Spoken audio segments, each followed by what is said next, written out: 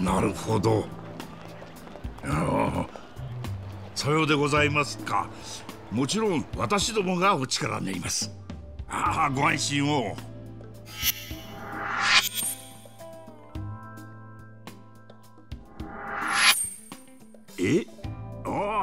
うちの八神をですか？いや大変恐縮なんですが彼は先々まで手一杯でしてね。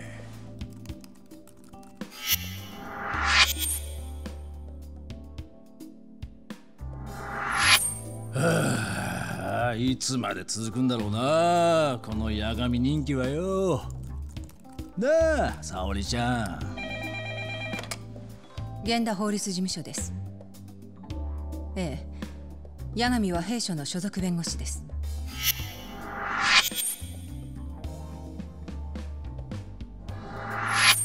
またご指名か。みんな無罪取れる弁護士がいいんだとさ。八神先生。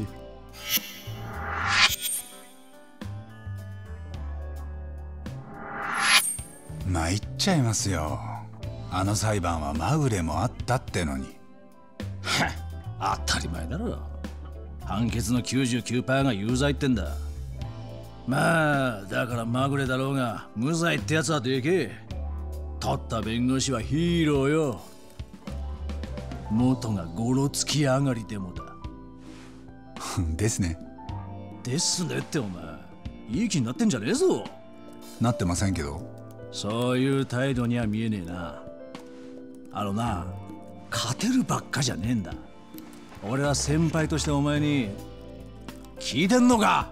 ご忠告ありがとうございます。どうしてもということでしたらうちの新谷が空いてます。ええ八神より経験豊富な弁護士です。聞いたか？確かにお前のおこぼれが回ってきそうだ。いちいちうるせえな。そんな本当ですか？まあその点新谷ならええ。無罪？えでもそんな。無罪は取ったことないですね。めったにないことですから、ご存知ですか？日本の裁判の有罪率は99.9%とんでもない数字ですよね。え？ああ。どうしても八神を？なんだよやってられる。かみんなうるさいはい。ええ。本当に間違いないんですね。わかりました。伝えます。どうした？八神先生に弁護の依頼です。だろうよ。依頼人は大久保新平。は？大久保新平って八神が無罪にした。あの？殺人で逮捕されたそうです。いやだからその事件は俺が。前のとは別なんです。ついさっき大久保が包丁で恋人を刺した後ガソリンで火を。なわけねえだろ。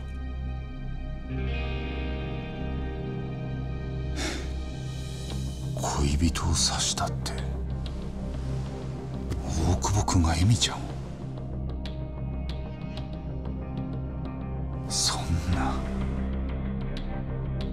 なんでだよ。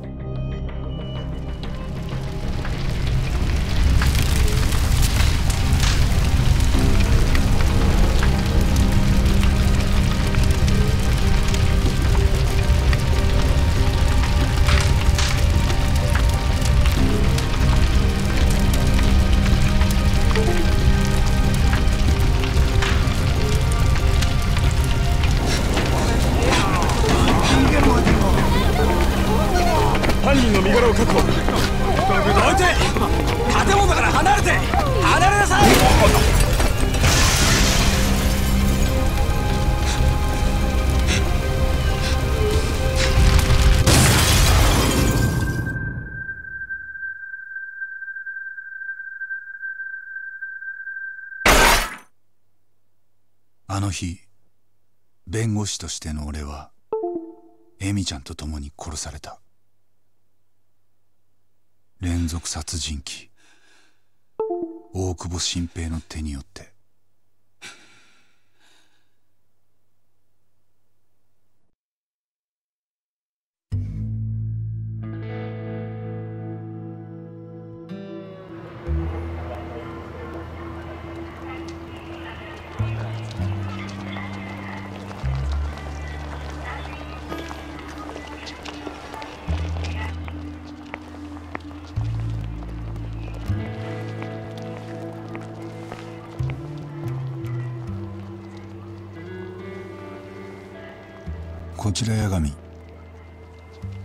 さんそっちはどう？もうすぐだよ。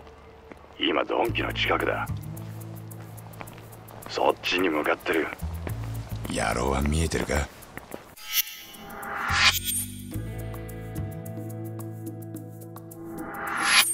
ああ見えた。全然気づかれてないな。尾行の腕上げたね。おうよ。我ながら自分の才能が怖え そりゃ言い過ぎ。しかし面白いもんだよな。探偵が探偵を追ってるなんてよ。ドラマでもなかなか見ねえよな。そんなのいいから。慎重に。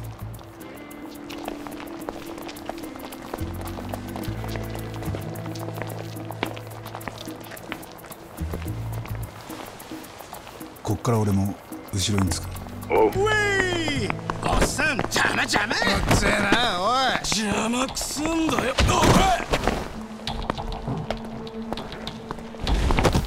はなんだてめえこれえ？何何？死にたいの？バカかこいつ。おい。何やってんだタボ。いやーチンピラに因縁つけられてつい。ついってお前が慎重にって言ってたくせにチンピラって誰のことだ？あ？海藤さん悪い。後ですぐ追いつく。適当すぎんだろ。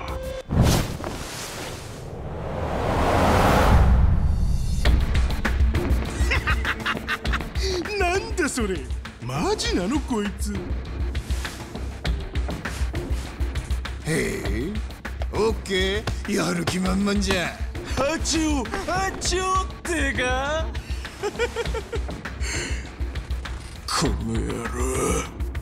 上等じゃねえか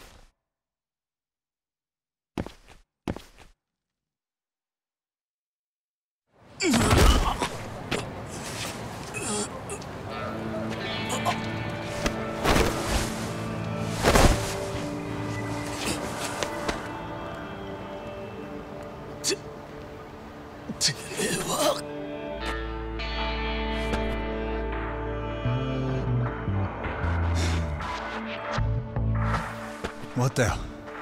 海藤さんそっちは今どの辺？ピンク通りに向かう裏道だ。人気が減ってきてる。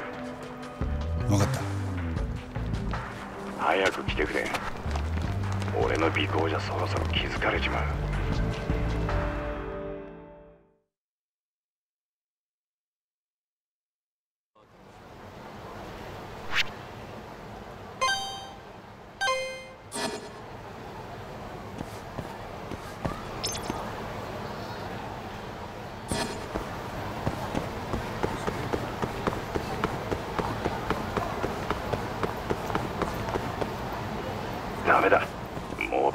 まだ追いついてないって。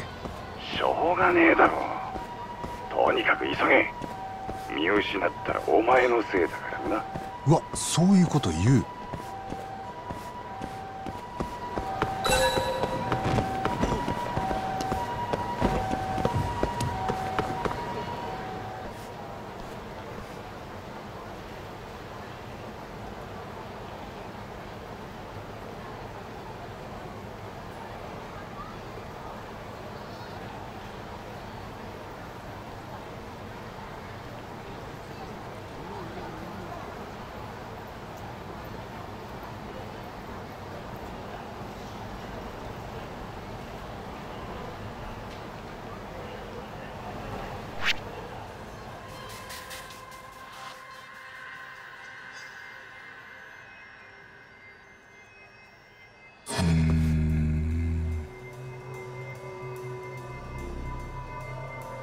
怪しいな。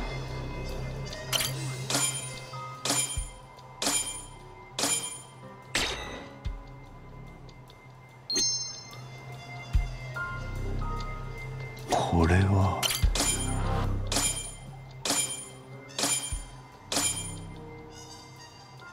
と追いついた。例の探偵だ。たくヒヤヒヤさせやがって。悪かった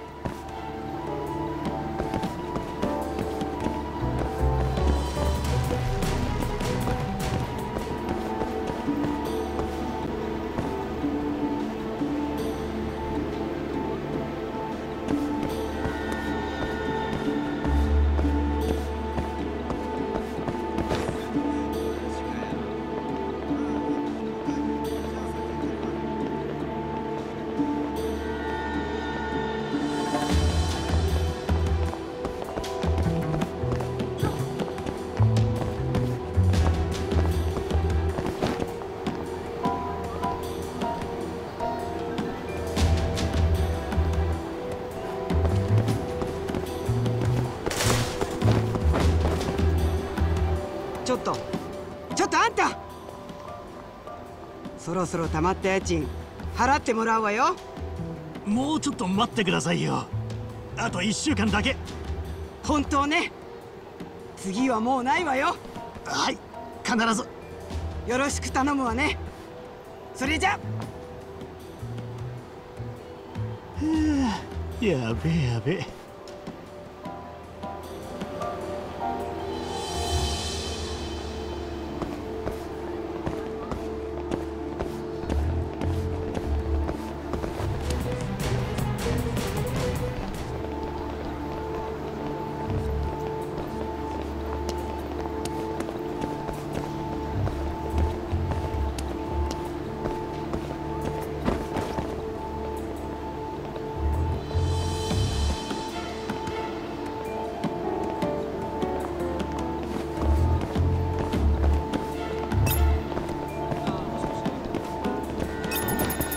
ドル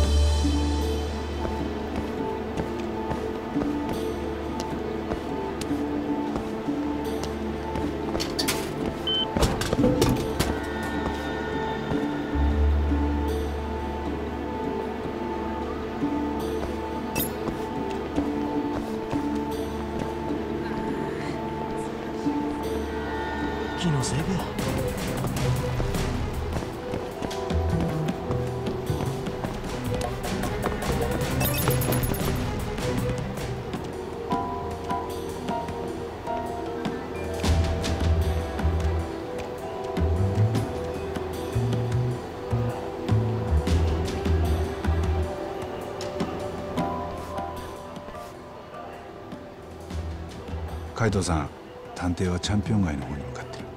チャンピオン街か。あそこが入り組んでるぞ。うんそろそろ目的地ってことかもな。よし。鳩飛ばそっか。空からもう追っかけよう。お？ドローン使うってか？海藤さん先回りしてスタンバっといて。わかった。任せとけ。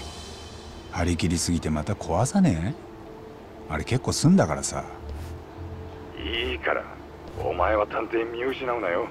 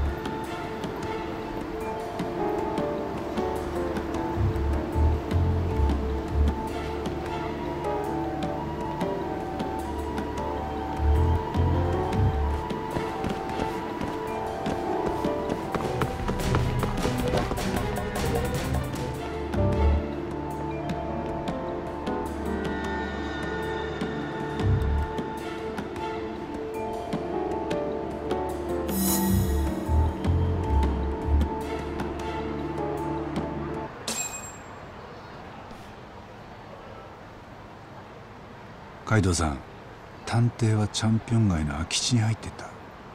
あの先は行き止まりだ。今追ってったらバレるね。やろう。そんなとこに何の用だ？多分誰かと会う。人に見られたくない待ち合わせってとこか。なるほど。こっちは今鳩を飛ばした。見えるか？上だ。ちょっと待ってもらっていい？どこだ？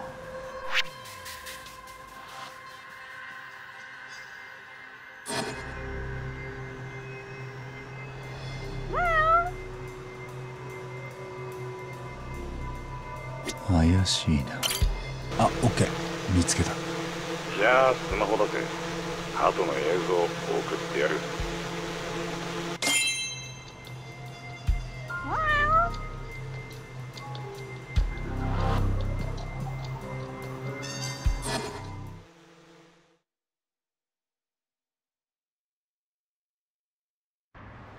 手際がいいな海藤さん。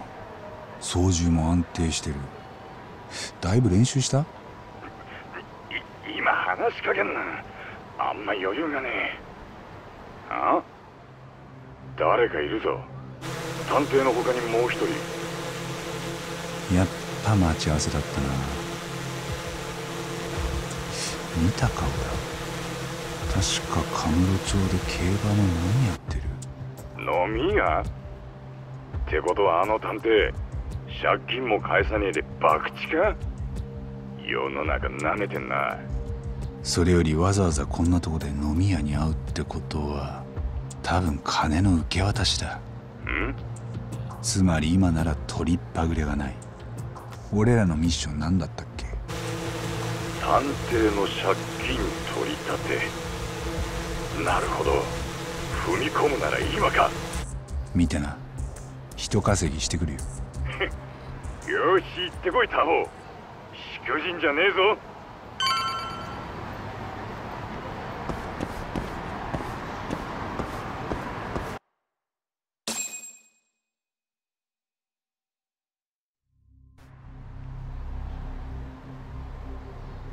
どうも。いい夜だね探偵さん。なんだカムロ町の飲み屋はサービスがいいんだってね。当てれば配当は1割増し。外した馬券の1割は客にバック。ギャンブル好きにはありがたいよな。俺も今度やってみようかな。あれもう行っちゃうの？まだ探偵さんから金もらってなかったでしょ。なんだお前。誰なんだ？うちの客のそのまた客があんたに金返してほしいってさ。飲み屋から馬券買う前にね。取り立てのチンピラか。よく俺をつけれたな。チンピラとはご挨拶だな。俺はあんたと同業者。探偵ってことか。うん。あんた逃げ足早いんだって。でうちに依頼が来たってこと。今持ち合わせがあんのも確認済み。もう逃げらんないよ。さおとなしく払うも払いな。うん。確かに持ち合わせはある。でもな返すのは馬でもっと増やしてからだ。それまで待っとけや。本気で言ってんのか？よくそんなずうずうしいこと。また今度だ！なんでそんなもん？海藤さん！奴が逃げた。見てたよ。何やってんだお前。くそ絶対逃がさねえ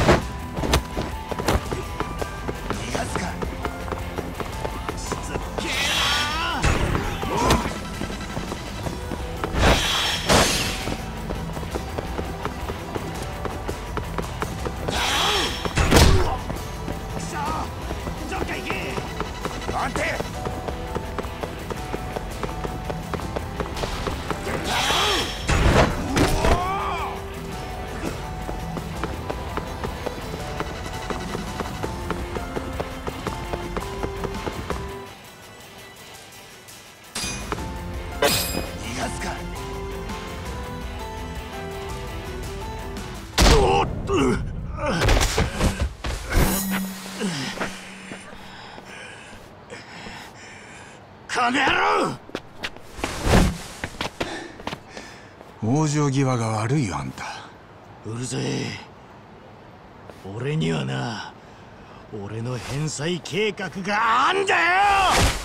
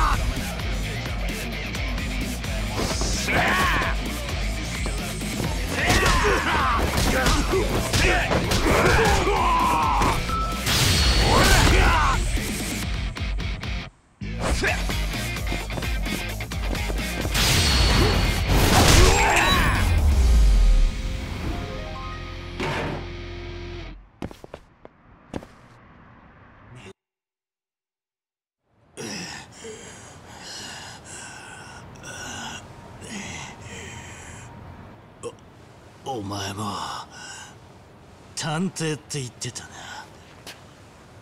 な。名前は？今さら名刺交換でもないだろ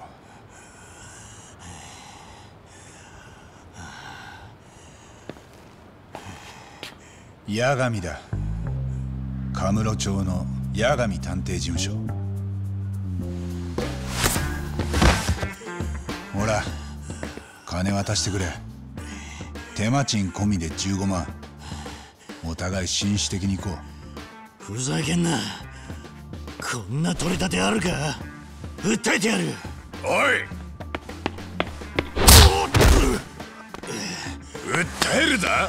てめえ偉そうに言えた口か。うちょっと海藤さん。なんだよ。何が探偵だ。ヤクザじゃねえか。うるせえ。借りた金返すのにグダグダ言いやがってもう諦めな。その人を怒らすとマジで怖いよ。分かった。分かった。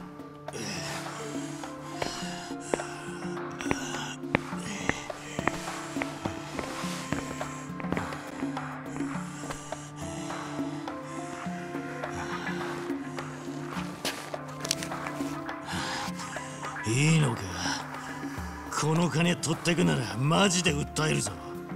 見ろよ。鼻の骨が折れてる。鼻血が出てるだけだよ。だいたい先に手出したのそっちだろ。いやお前が先に殴った。訴えたら間違いなく俺の方が。なこれ弁護士バッジ。お前探偵なんじゃ。どうする？本当に出るとこ出る？でもやっぱ相手が悪いと思うよ。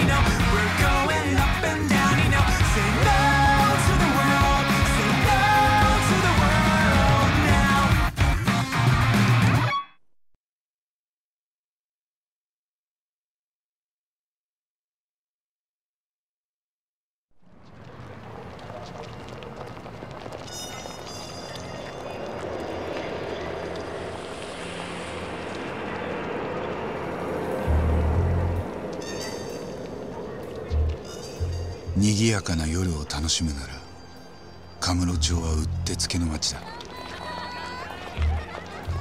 だがネオンの光が眩しいほどその影は暗くなる。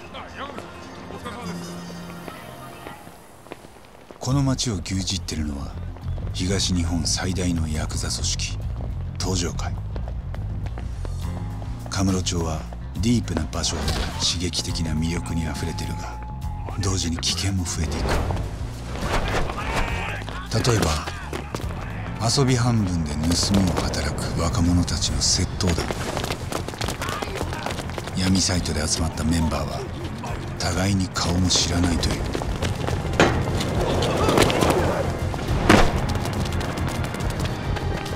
警察はまだ彼らをただの一人も捕まえられてない。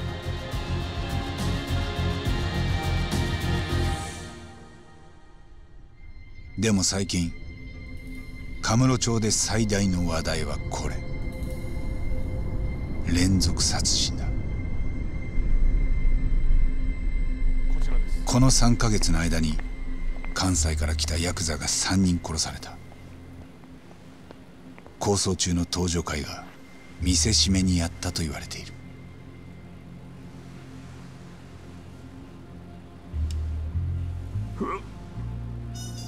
つも名誉へ売られてますね。3人のヤクザの6つの目玉はいまだに見つかってない。そんな町の片隅で俺は探偵事務所を開いている。ただ一人の従業員にして俺の兄貴分。海藤さんは元東上会系のヤクザだ。そして俺は八神隆行は3年前に法廷を離れた弁護士でもある。俺の持つ弁護士バッジにはもう飾り以上の意味はない。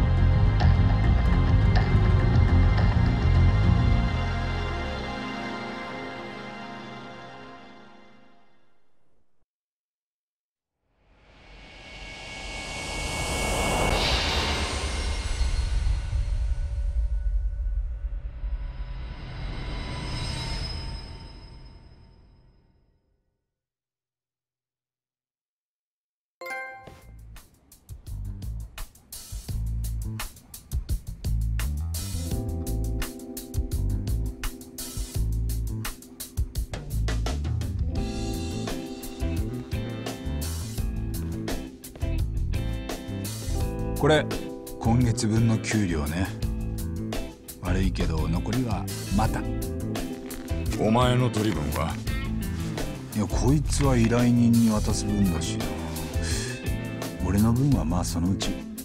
そっか。また源田先生のとこに行ってみるわ。なんか仕事ないかって。あそこの法律事務所。最近暇そうだぞ。ちゃんと仕事してんのか？あのちょい悪親父。うちのお得意様にそういう言い方やめない？なら古巣だからって手ぶらで行くなよ菓子折りぐらい買ってけ。ちゃんとカッコつけろ。なんか苦労かけるな。それは言わない約束だろ。おとっつぁん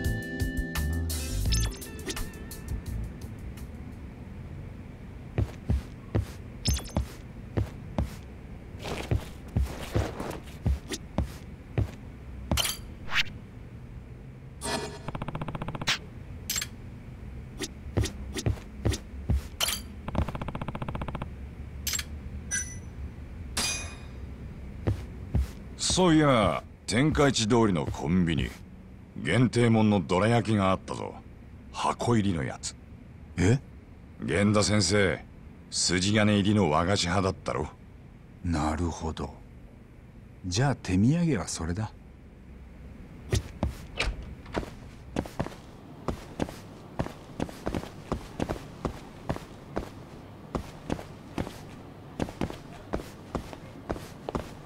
この子よくメールアドレスい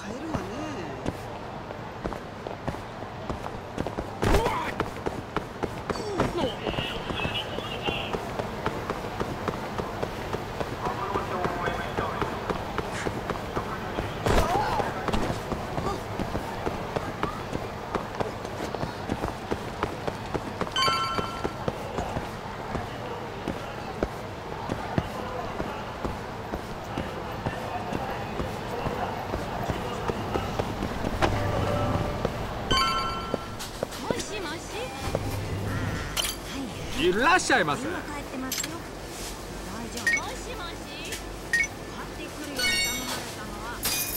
ップと海苔でありがとうござい。ました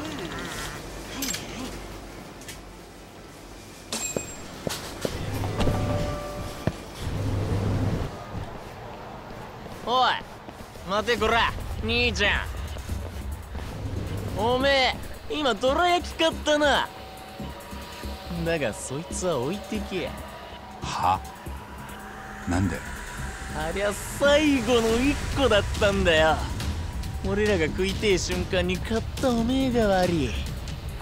ですよね兄貴たち。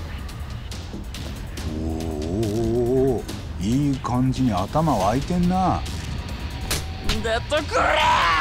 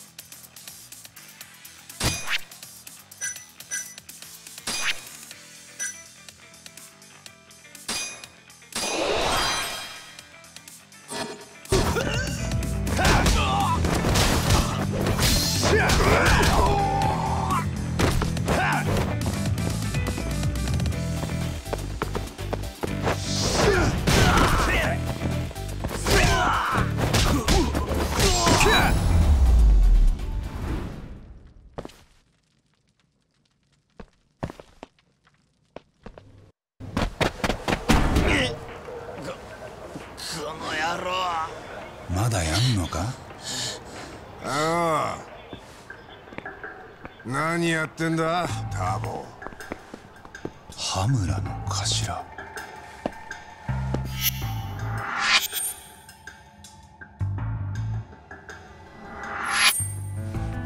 離せ俺。あの。ターボがチンピラ相手に喧嘩売るわけねえもんな。となるとお前ら誰に手出したか分かってんのか？いや。こいつはうちの親父にとっちゃ息子同然なんだよ。俺の言ってることわかるか？いやよしてくださいよ。そういうのいいんで。よかね。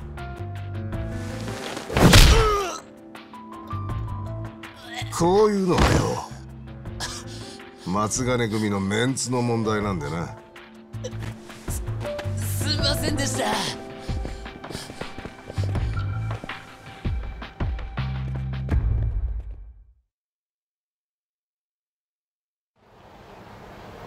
ケンゴお前まだターボーに会ったことなかったな。顔を覚えとけ。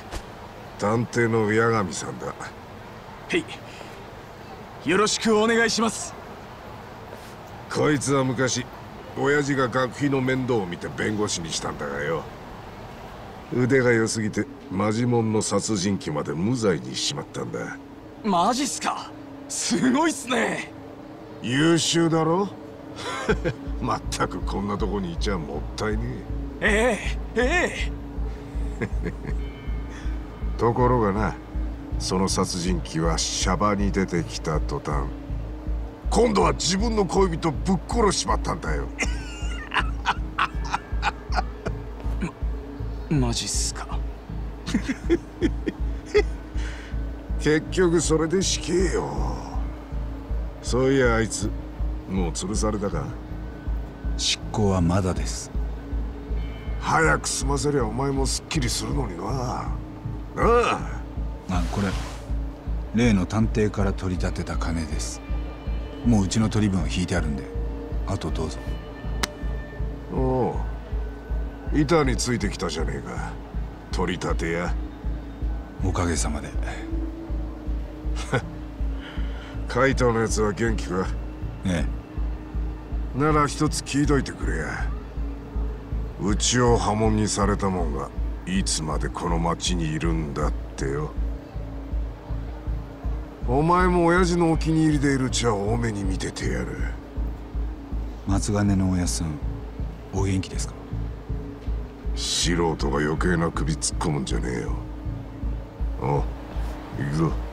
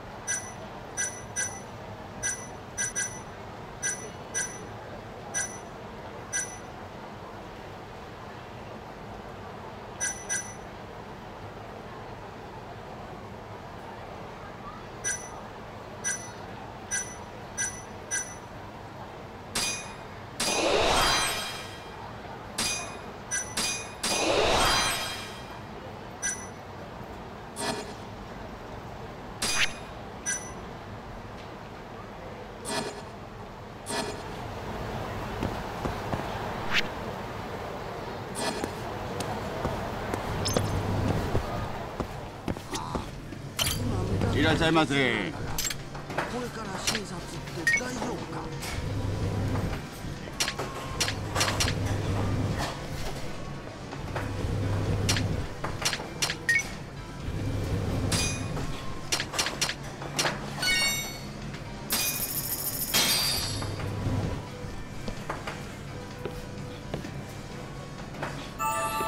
気に入った。さあ行くかありがとうございました。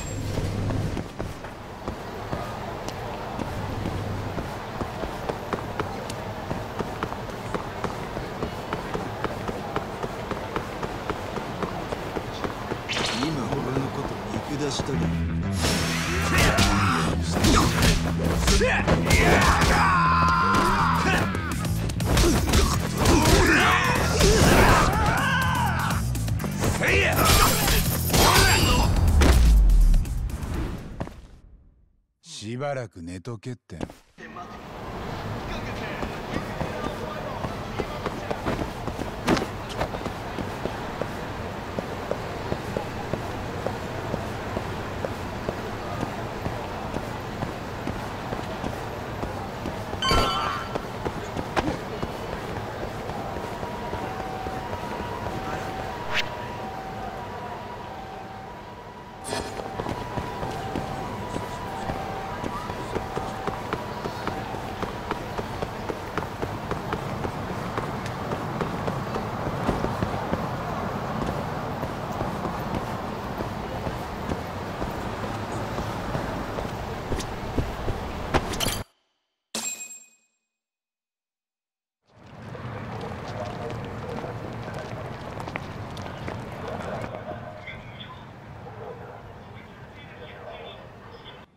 よ沙織ちゃんこれどら焼きね。限定もんだって。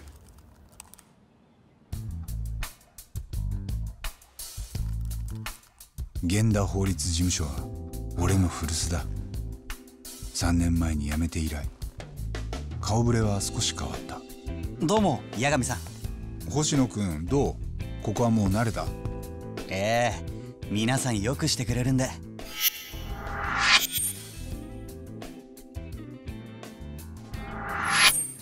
優秀なんだろ？う司法試験でもトップクラスだったって？ならもっと大きな事務所でも行けたろ。いやなんてこと言うんですか。聞こえてるぞ八神。源田先生どうも。俺には生みの親を入れて親父と呼べる人が3人いる。この源田先生もその一人。俺が弁護士になる前からこの事務所で働かせてくれた新谷先生はどちらに？夕方から見てねえな。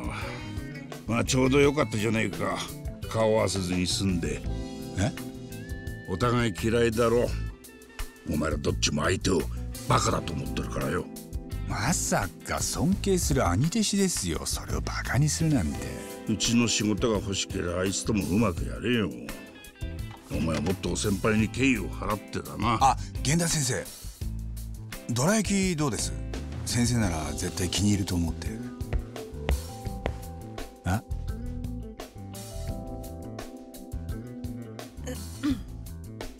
あれ？全部いっちゃった？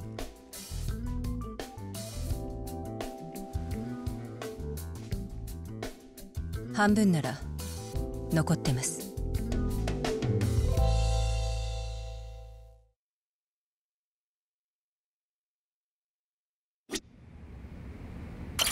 なあ沙織さん。なんかうちに回す仕事。ないです。僕が八神さんに仕事頼むなんてそんなの恐れ多いですよ。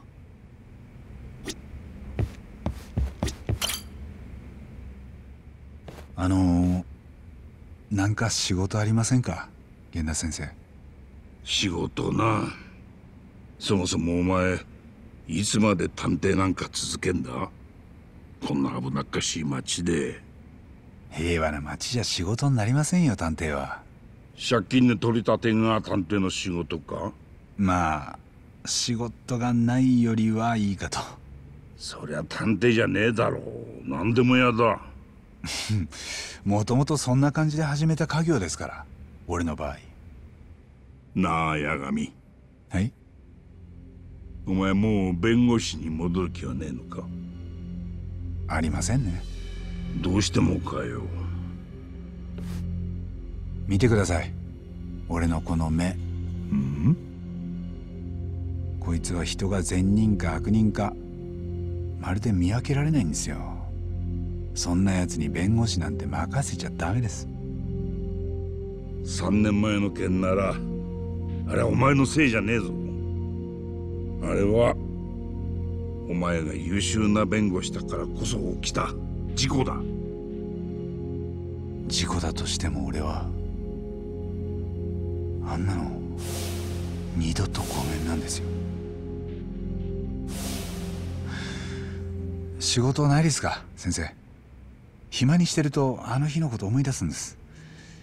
エミちゃんの遺体が目に浮かんで、うんうん、だから何でもいいんで。ずっと忙しくしてたいんです。離婚裁判の証拠集めは例によってラブを張り込んで証拠写真を撮影それから尾行とゴミ漁りだ。やるか。いいですね。もちろん喜んで。うんお手上げだな。後で資料送っとく次来る時は手土産いらねえぞ。金が余ってしょうがないって時だけ持ってきてくれ。了解です。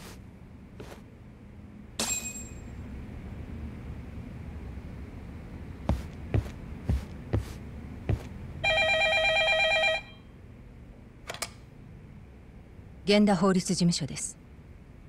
え？ええいますわかりました。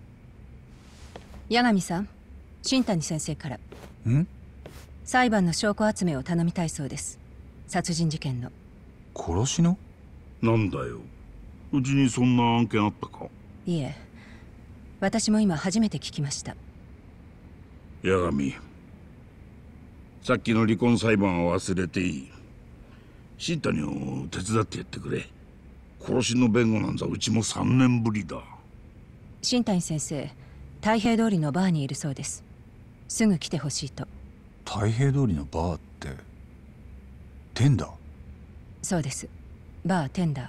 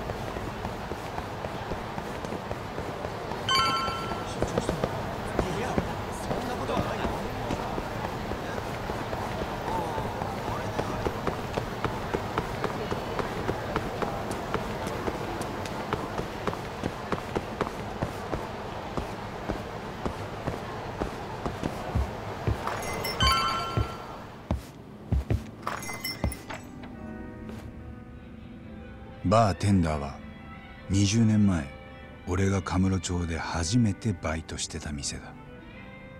マスターはその頃から老けてたのか今もあまり変わってない。ターボか。奥に新谷先生来てるよ。ああ仕事の話なんだ。また来ちゃった。あんま飲みすぎんなよマリネ。あの人ターボーの連れなの？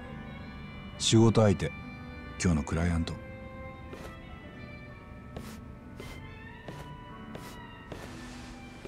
うちの仕事が欲しけりゃもっと早く来い。遅すぎんぞ。急な呼び出しに遅刻もないだろう。妙な先輩風はよしてくれ。一杯飲ませてもらいます。俺の金でか。いや源田事務所の交際費ってこと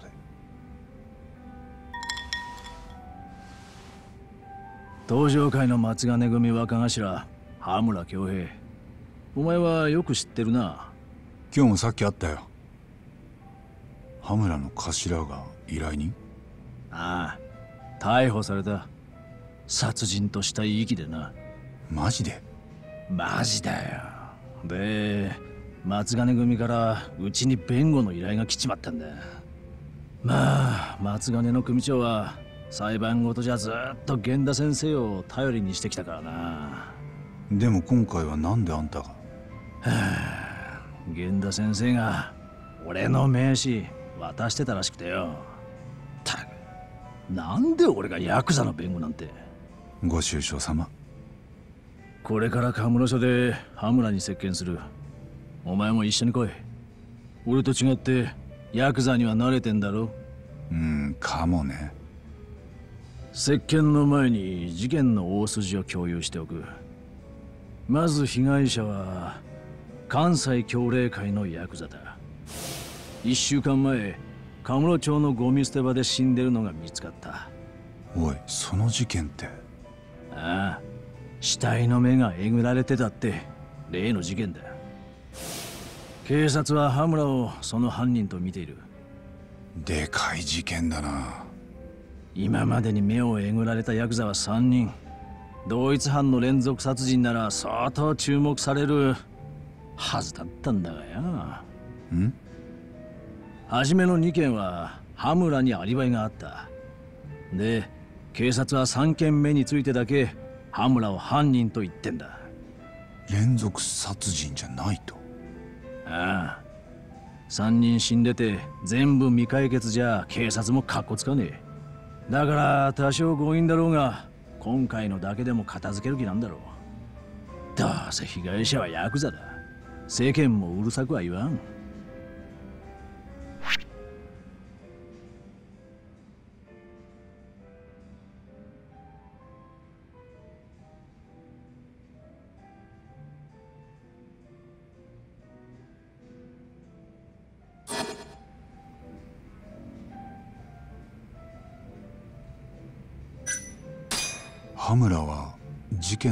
なんて言ってんだ？やってないと言ってるそうだ。警察の言いがかりだともな。じゃあ無罪を主張するってことか。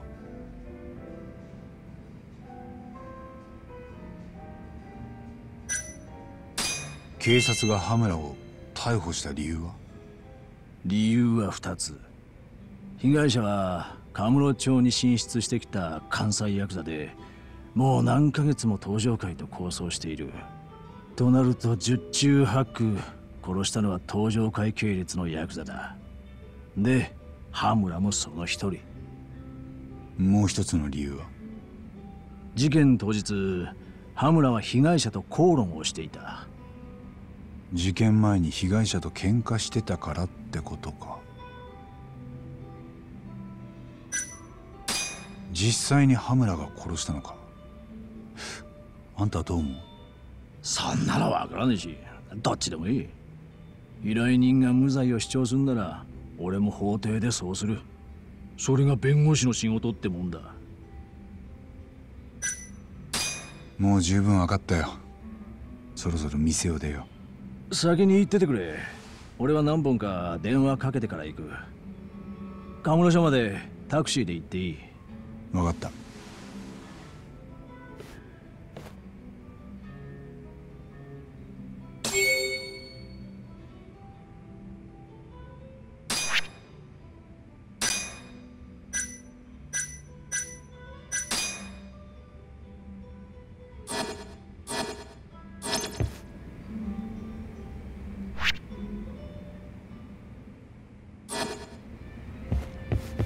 くのかタボ。